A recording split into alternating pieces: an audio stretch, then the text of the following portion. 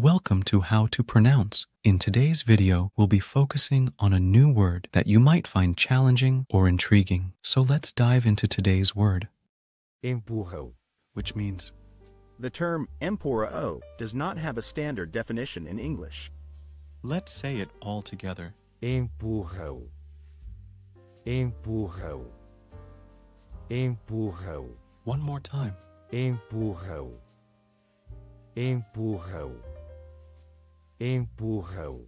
Thank you for joining us on this adventure in pronunciation. Remember, language is a journey, not a destination.